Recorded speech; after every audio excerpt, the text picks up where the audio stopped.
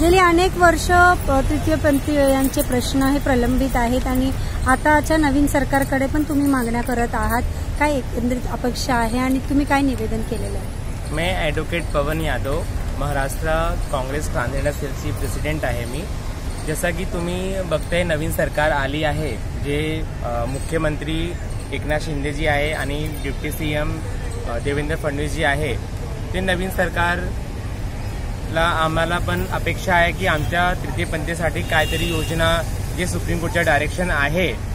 NALSA judgement व the transgender protection of right act two thousand नाईन्टीनच्या ज जजमेंटमुळे आम्हाला जे स्टेट बोर्डला जे महाराष्ट्र ट्रान्सजेंडर वेलफेअर बोर्डसाठी साठी जे नोटिफिकेशन इश्यू केलं आहे ते आम आमच्या महाराष्ट्रामध्ये काही होत नाही.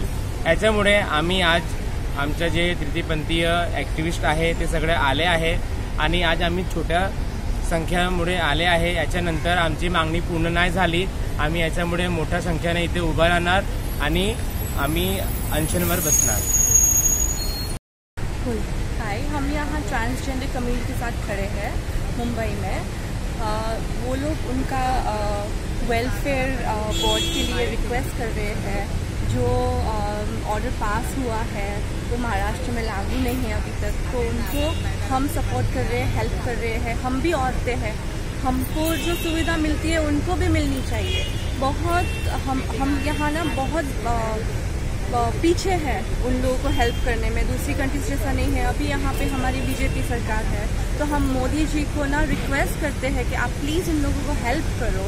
आज मैंने जिस वे से ये लोग को ट्रीट किया ना, आज मैं देख के बहुत शॉक हो गई कि उनको देख के ही लोग डर जाते हम प्रोटेस्ट यहाँ कोई कर नहीं रहा है। ये लोग प्रोटेस्ट नहीं कर रहे हैं। सिर्फ़ लोग रिक्वेस्ट लेके आए हैं वो भी नहीं सुन सकते हो। तो मेरी रिक्वेस्ट है मोदी जी की सरकार को और मोदी जी को कि आप यहाँ हमको हेल्प कीजिए इक्वल राइट्स दिलवा दीजिए इन लोगों के लिए भी। Thank you